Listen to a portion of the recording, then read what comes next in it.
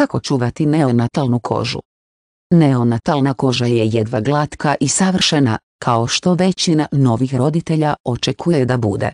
Bebe se obično rađaju s modricama i mrljama, a njihova koža je vrlo osjetljiva.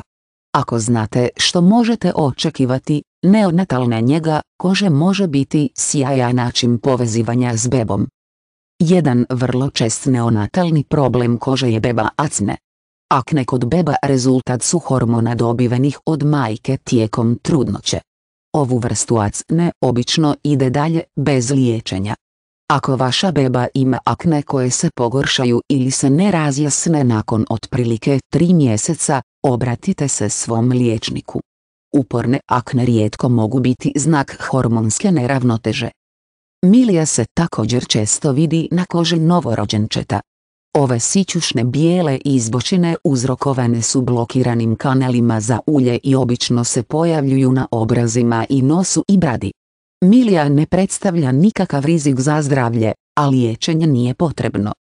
Rodne oznake mogu imati različite oblike. Neki mogu biti ozbiljni, ali većina nije. Mrlja odvina u luci, koja je veliki, vaskularni madež, može i uzrokovati deformitete, sljepoću ili gluhoću ako je na glavi. Vaša beba može imati modrice od svog putovanja kroz rodni kanal. Osobito su traumatska rođenja najvjerojatnije uzrokovala modrice, iako tipični rođenja mogu rezultirati i modricama.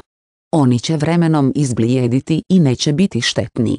Ako vaša beba ima žuticu, modrice će vjerojatno uzrokovati blago povećanje količine bilirubina u njegovom ili njenom sustavu nakon što počnu bljedjeti.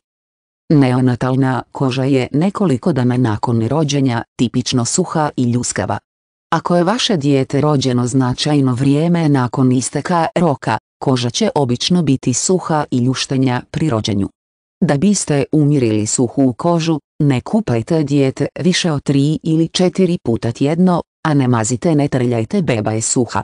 Neonatalna koža je toliko tanka da se može slomiti ako se snažno protrlja.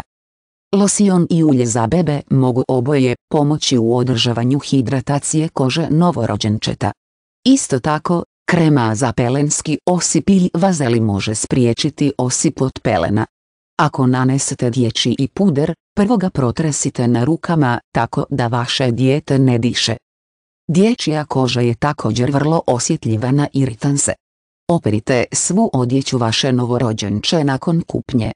Roditelji posebno osjetljivih beba koriste deterđent za odjeću bez dodatnog mirisa i bojanja.